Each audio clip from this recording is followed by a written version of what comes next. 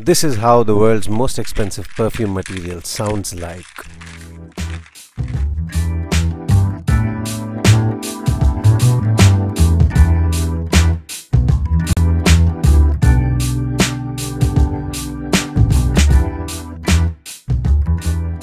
An ancient perfume material slowly has become a global standard.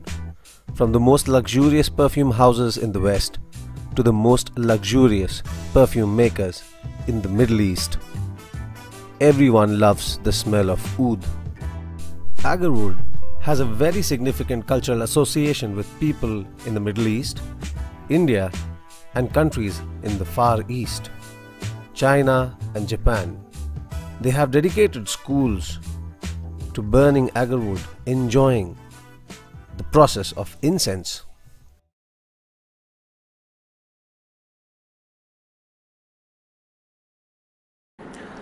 So guys, first we need to understand two very broad categories of agarwood. Now this is very very essential in understanding the different types of woods guys. So I would like you to pay attention. Now let's start with plantation wood. Now plantation wood is basically something which is grown artificially. It is not found in the wild. It is nice smelling but it does not have the magic of old wild wood which is found in the wild by accident. However, plantations are artificially cultivated agarwood trees and uh, they have come up in India long back 40 50 years back in Southeast Asia there is a rampant uh, growth of plantation agarwood uh, all over. So guys let me show you the basic differences between how these would look like and there are some confusing uh, pieces in here as well. So this is how a standard plantation wood piece should look like.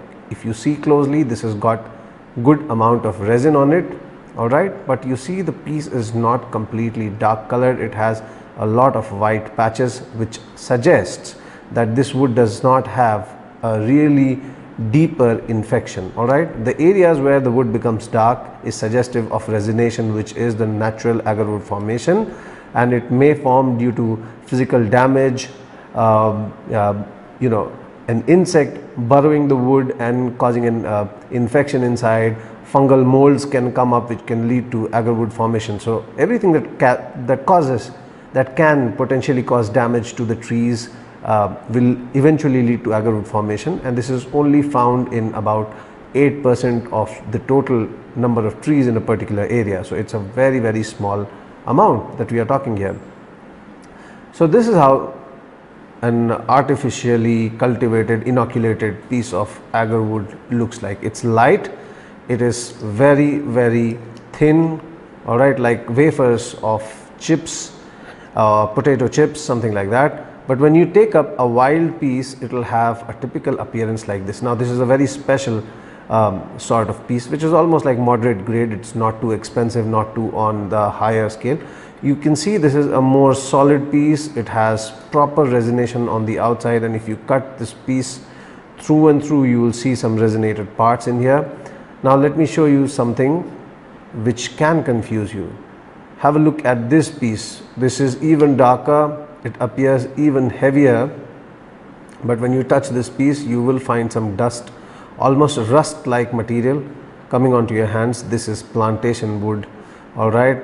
Usually what they do in the jungles is put iron nails into these trees and these trees are forcefully inoculated uh, with some organic material at times as well or just leaving the nails there causes uh, physical trauma to the trees leading to agarwood formation. So, this is this appears awesome, this uh, looks awesome alright and it, it, it also sinks, this is a very heavy piece. So, it may confuse a new buyer into thinking that this is a wild agarwood piece but it is not. You can see the hollow points where they have put nails and you get that rusty material onto your hands and it does not smell too good as well. Most of these wild chips usually of a high grade quality will carry uh, a very soft, uh, barny, sweetish, uh, sourish sort of smell which is very very reminiscent of uh, putting a chip on the burner. And uh, with the most higher grade woods the smell even the smell becomes even stronger. So this is a basic difference. Now let me show you a very basic plantation wood chip. Alright on the outside it looks fantastic. You can see the resin patterns and see this wood is almost hollow and has a whitish part on the opposite side. All right these smell good as well and these are quite affordable as compared to these ones. So if someone is looking for um, oud at an affordable price these could be their go-to. But guys it does not give you the ultimate pleasure the spiritual pleasure that these wild agarwood pieces possess. So these are especially for people who are on a budget or people who are just entering into the world of ouds because this thing gets more and more complicated with experience. So guys, these are typical Gyrinops woods, Gyrinops agarwood species which are basically found in the coastal regions and there's something which I found uh, of particular interest. Most of these chips have a lot of fiber content. So this is very hard wood, this is a very hard piece of wood and it's got it's it's a proper solid piece you you find the resonation and you find these thick fibers at the bottom all right? This is very typical with coastal wood. You can see some fibers here as well. Now this is Sri Lankan Gyrinops from the island of Sri Lanka and you can see the similar sort of fibers in here. Lot of fibers. Then you have some uh, moss formation up here and you've got resin embedded in between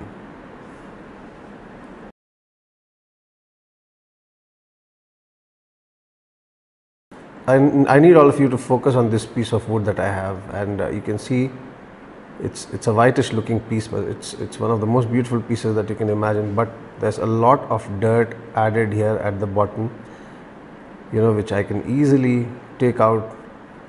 Now the oud market is full of you know cheats because it's a huge market. It's it's it's a very expensive market very expensive commodity. So everyone tries to fool you Sometimes they glue chips to larger pieces of wood which have a very bad, a very horrifying plasticky sort of smell when you put it on heater because of that fevic that fevicol, that fevikwik sort of fevibond sort of smell comes out and it just chokes you out.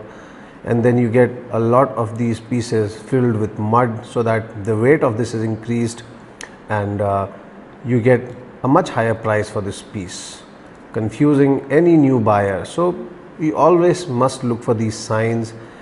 Looking at a huge batch, of course, if you are buying a batch in bulk, it's very difficult to look at those pieces individually. But if you're buying like 10, 15 pieces, it's very easy to spot these problems. Always carry a flash torch with you, with you because most of those joints which are uh, uh, stuck together with glue can be easily made out. They'll shine out when you flash a light or you can just use an instrument like this or even a pen to just uh, you know chisel out some of this dirt from this fine piece of agar wood.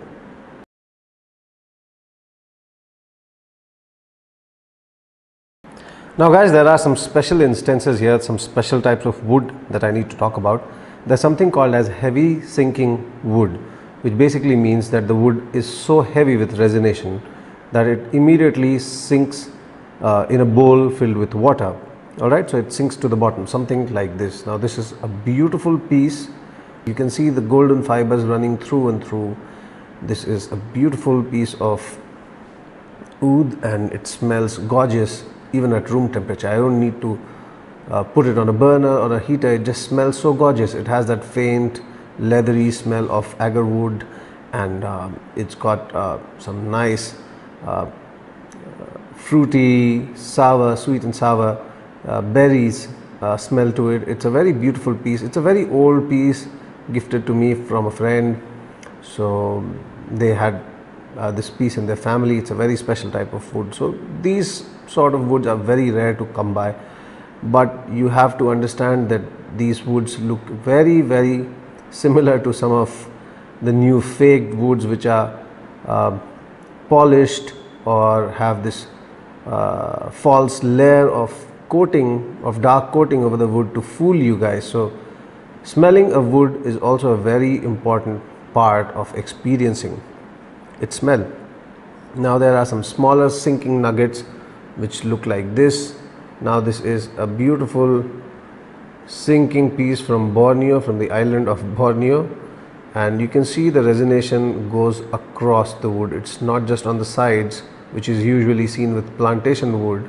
The infection has already crossed the outer core and has entered the inside or the heartwood as we call it. So this is also a sinking piece but it's a very small sinking nugget from the island of Borneo.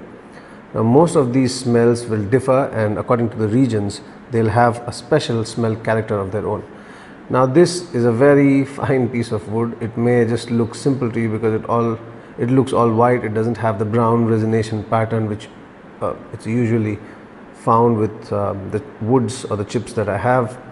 But this is a special Vietnam yellow yellow soil incense grade wood. So incense grade wood is again something which can give you a lot of smoke beautiful smelling incense smoke. So that agar resin actually burns up, fires up to give you one of the most beautiful smells and this may trick you. So the only way to test these is to put a small, uh, to put a small piece on the burner and experience the smell.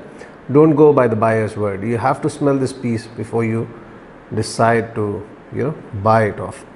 Now there's something called as Kyara, Kyara uh, in Japan and Kinam in China and other regions so guys this is a special type of agar wood which is probably the most uh, valued or the most precious sort of wood that you can find in the world. Now most of these woods, these special sort of woods are from a company known as Agar Aromas which basically belongs to one of the legends in the game. His name is Mr. Anthony Bolton and I'll put down his email ID below where you can ask him for samples, you can buy off samples of woods, he also distills some oils from these woods. So he's a very nice gentleman, very trusted name in the business. And um, these are not the finest Kyara pieces that I've encountered. My finest Kyara pieces came from Kyara Zen, and Kyara Zen um, is a very respected incense making company. They also sell woods. They've also sold oils in the past, oud oils in the past. I'll mention their uh, website link below. However, be cautious, guys their website whenever it uploads some new materials it's sold out within a few hours or within a few days. That's their reputation in the market. So guys this Kyara wood is formed because of a special uh, reaction. Uh, most of these wood pieces are found buried underneath the ground. So nobody is sure where these come from. There's a hypothesis that these are found uh, only in Vietnam, uh, Vietnamese subtype of agarwood and Chinese subtype of agarwood, but many recent findings go, you know, tell you a different story. So you just need to understand that the basics of this is that this sort of wood has a lot of resinous pattern, it has a lot of resins. Basically, the wood fibers have completely converted to something gummy, something resinous, something of a thick waxy character that's what Kyara is and it does not require an actual burning to be able to appreciate its smell. It's used in mostly Japanese and Chinese incense houses. It has a very beautiful uplifting smell, a linear, sharp, brain numbing sort of smell and uh, that's why it is regarded as one of the most precious materials on this planet.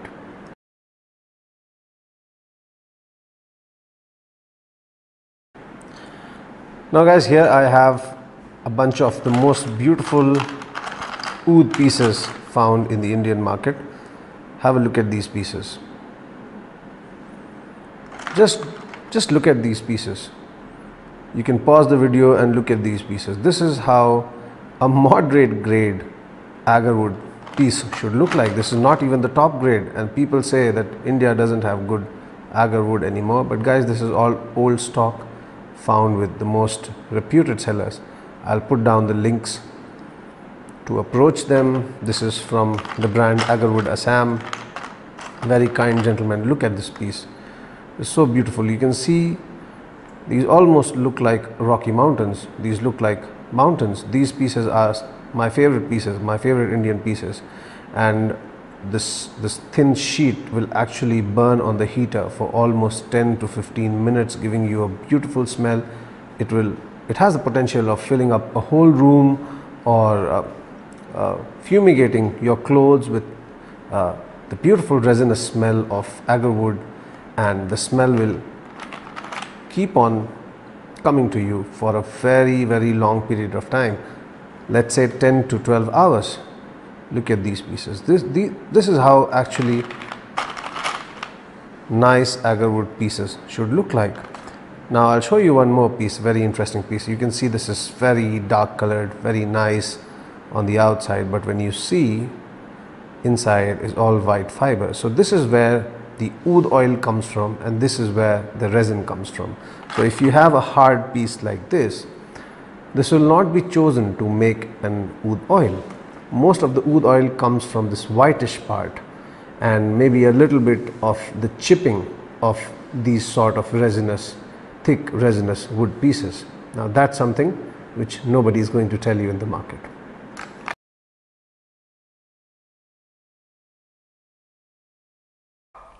So guys now let me take you through the burners that I use to burn agarwood and each one of these serves a different purpose alright these are different bur uh, burners for burning different sorts of agar woods in different styles in different manners so you can enjoy the finer aspects. Or the first one is uh, a voltage controlled incense burner which basically utilizes a power source. So you need a power outlet with a voltage control system here. So if you can see there are markings. This is 120 150 160 180 degrees and I can control this with the help of a controller. Now this is required to burn high quality woods or top grade incense woods.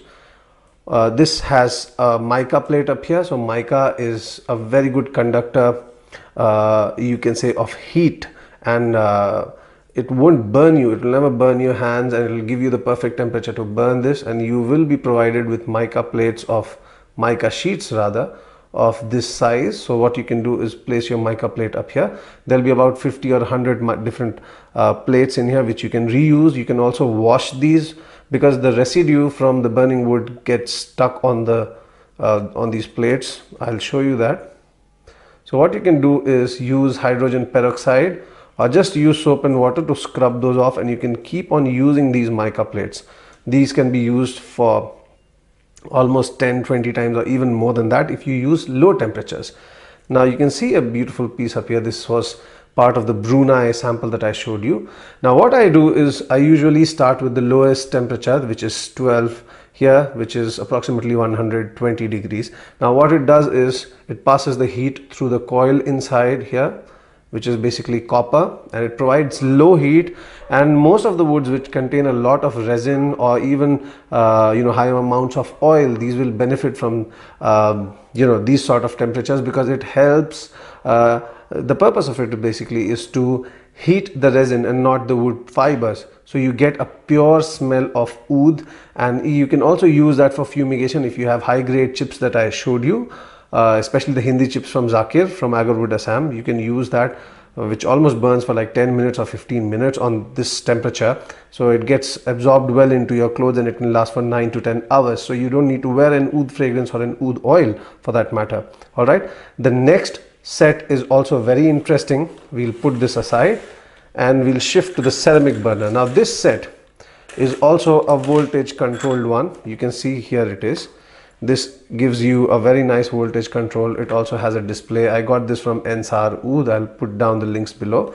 For this as well i'll put down the email below where you can mail the person and order this. So this is a proper ceramic burner. The material is totally different. It has a very smooth heating surface which is basically ceramic material. All right it's porcelain and uh, there's a beautiful piece inside now what happens guys, this provides a very soft temperature for precious woods like Kyara which are extremely expensive and require the gentlest heat, the most gentle heat to heat up the resin inside. You don't need to burn the wood fibers, you will completely waste that. I mean one gram of Kyara is extremely expensive so you need to preserve that. So what it does is provides a very, this provides a very uh, soft heat, a gentle heat for a prolonged period of time. So you get pure whiffs of Kyara. Now the purpose of this is to enjoy the smell of Kyara in your room, to fill the smell uh, of Kyara, to fill your room with the smell of Kyara, etc. And you don't need to uh, you know worry about fumigating your clothes etc you just need to uh, have a beautiful smelling um, experience. It's like a spiritual experience. You it's like burning incense but instead of practicing something as gentle as the monko uh, you know session or your typical kodo sessions from japan where they put these mica plates over uh, some rice powder and at the bottom they place uh, a small piece of charcoal which provides the most gentle heat to uh, heat up smaller pieces smaller sliver i mean the smallest slivers of uh, agar wood or kyara so that's a very tedious process. You just need a ceramic heater like this to give you the same experience without going through the hassle of preparing the whole traditional Kodo system. Now the third or the simplest one is charcoal. Now this charcoal is what you get uh, generally in the market uh, for shisha or hookah. Now there are some other charcoals which are made of coconut husk. Uh, you can get them on Amazon, you can get them on eBay, you can also get them at the shisha stores this has a lot of charcoal content all right but the coconut husk charcoal uh, does not have those harsh uh, smelling chemicals in them. So what you have to do is put these on a traditional burner or a mubakra wait for these to burn almost for 20 minutes or 15 minutes. Let the whole coal get covered by uh, ash by by a thick layer of ash and uh, what it does it gives a gentle heat to your woods. That's the purpose guys, that's the aim to heat the resin and not the wood pieces.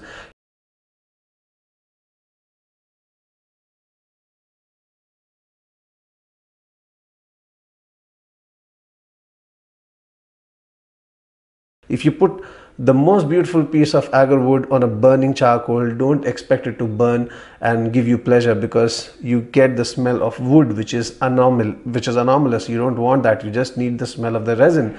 That is the actual agar incense.